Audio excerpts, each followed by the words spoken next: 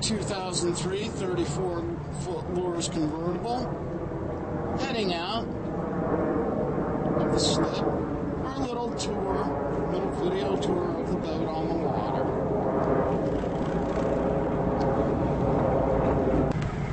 I'll check there. There's nothing right now, but I've marked the vessel and notified officers in the area. Over.